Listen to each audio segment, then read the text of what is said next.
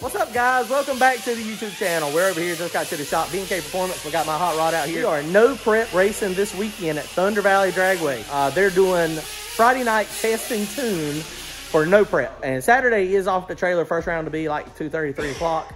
But so we're going to be drag racing this weekend. If y'all are close to Thunder Valley, y'all need to get out there. Hopefully we'll have a good car count. He had verbal confirmations of about 20 cars.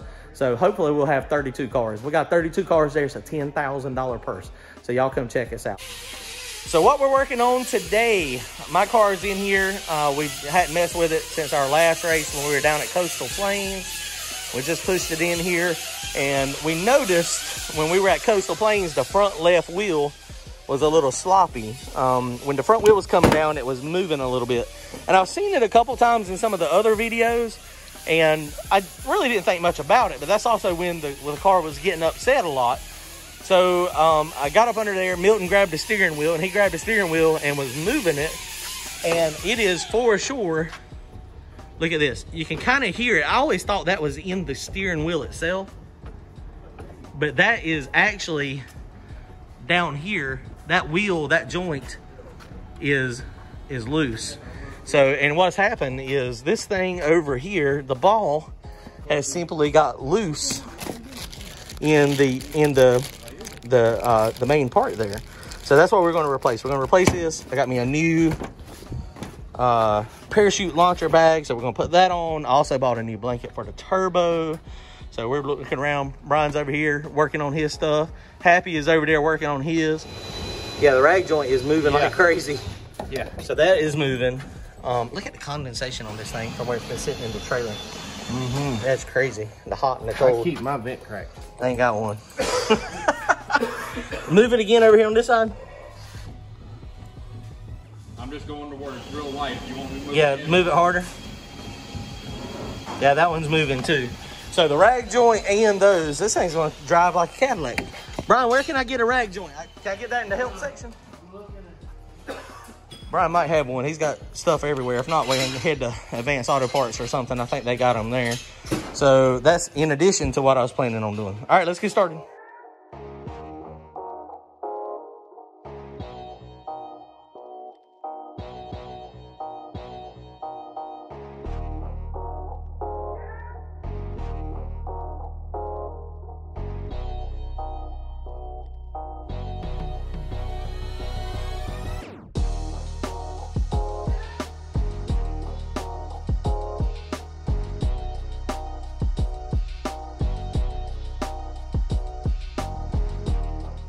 Okay, guys, so look at the difference in this. I don't know if y'all remember when I did the video with the with the high travel for the front end, the extenders.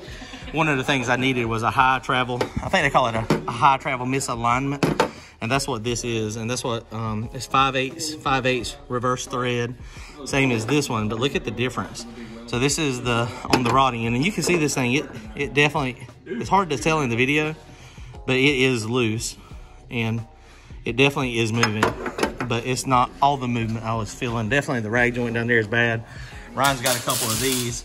So we're gonna try to find the shaft and put on it. If not, I'll put a new rag joint on it for right now.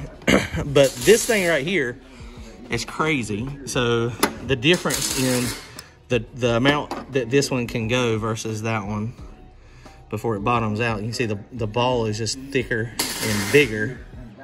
Oh, sorry. The ball is just thicker and bigger. And the angle is a lot more. You can see the angle is tremendous.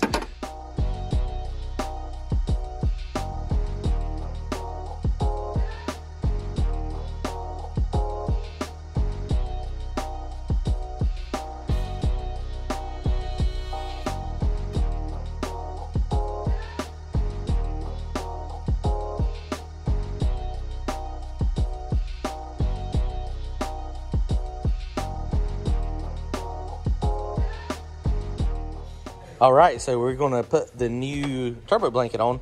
Ooh, it's nice and shiny, but it is a lot bigger too. This one was supposed to be for a T6, but it barely fit on the turbo. Look at the difference in size.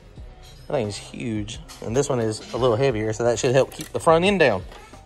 All right, guys, well, we are done working on it tonight. It's a little later than I anticipated. Anthony over here, Brian. We had a whole bunch of other people earlier in today, but now it's very late. So, I still got to paint a car. and Brian's still painting cars today. But we got um, this new turbo blanket on. This thing is a monster. It is huge. So it is. Uh, it actually fits really well though. That was like forty two dollars on Amazon. Uh, so that is. So I mean, it looks awesome. I mean, it looks very big.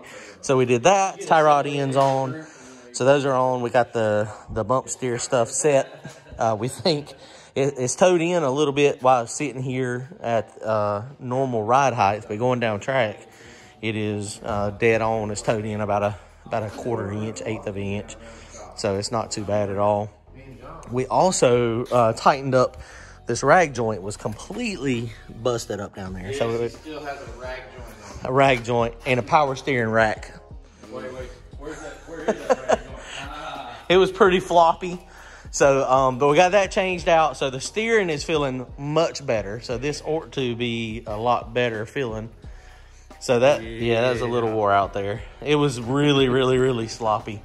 And the steering wheel, this thing still has a little bit of slop up here, but it is in the wheel where the wheel mounts to the actual hub. It's the old school yeah, the little quick connect. Which this thing I got used from Brian like 20 years ago.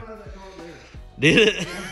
The steering wheel and the, so I've had, I've had this thing for a hot minute. So it's just it's got a little bit of a loose motion in it. We use everything and reuse everything to the point where it just it just it just falls apart. That's my, my car is the landing bed for all the used parts. This is where all the used parts go that uh, they go home to die.